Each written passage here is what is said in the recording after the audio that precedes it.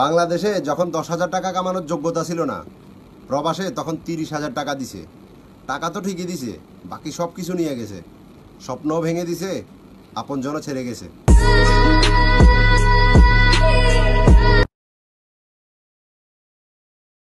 যে বয়স আমার আনন্দ আর ফুরফুরে মন নিয়ে বেঁচে থাকার কথা, সে বয়স একাকিত্ব আর ডিপ্রেশনের মাঝে প্রতিটি দিন কেটে যাচ্ছে আমার।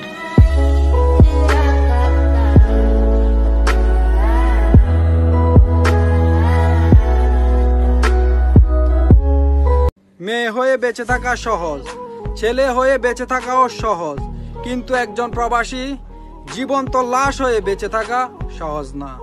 প্রবাস কত কষ্টের তা একজন প্রবাসী সৈনিকই বলতে পারবে। যারা নিজেদেরকে আমার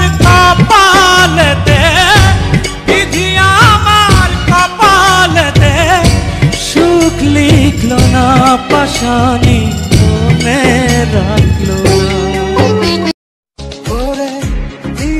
করে বুকের ভেতর লুকিয়ে রাখি তারে। যেন না পারে সে যেতে আমার। মালয়েশিয়া থাকি।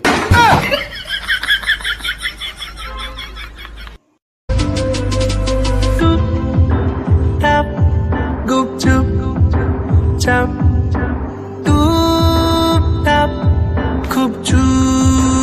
চুপ চাপ আমি জানি একা নদী অভিমানী